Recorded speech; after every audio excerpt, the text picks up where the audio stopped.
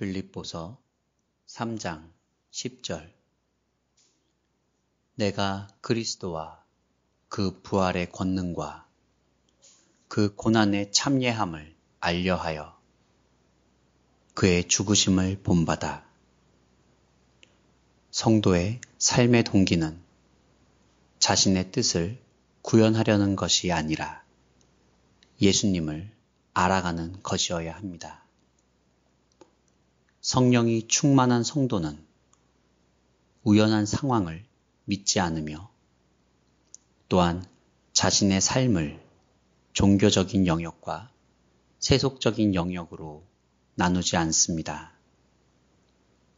그는 그 어떤 상황 가운데 던져진다고 할지라도 그 상황은 예수 그리스도를 더 알게 하는 과정이라고 생각합니다. 그는 주님께 자신의 모든 것을 철저하게 내려놓습니다. 성령의 뜻은 우리가 우리의 삶의 모든 영역에서 예수 그리스도를 드러나도록 하는 것입니다. 따라서 우리가 그렇게 할 때까지 반복하여 같은 장소로 데려다 놓으십니다. 성도는 자신의 선행으로 예수 그리스도를 높이지만 자기 시련은 업적을 영화롭게 하는 곳으로 빠지게 됩니다.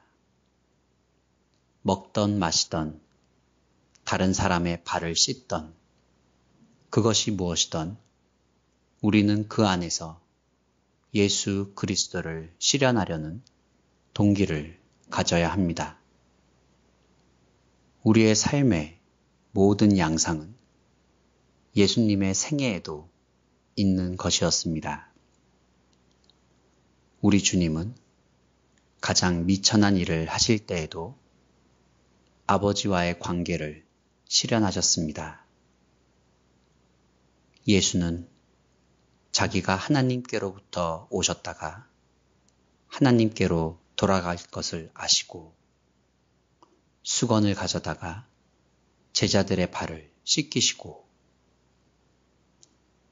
영적인 성도의 목적은 그분을 알려 하는 것입니다. 오늘 우리가 서 있는 그곳에서 주님을 알아가고 있습니까? 그렇지 않다면 우리는 믿음의 길에서 실패하고 있는 것입니다.